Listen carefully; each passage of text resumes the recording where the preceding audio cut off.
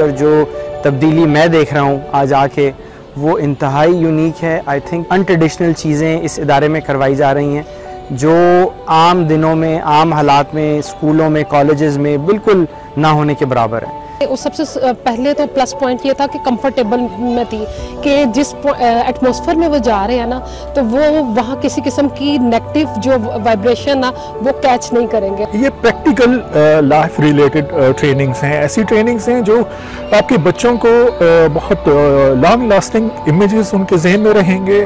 उनकी जो लर्निंग होगी, वो सारी ज़िंदगी बच्चे आपके याद रखेंगे।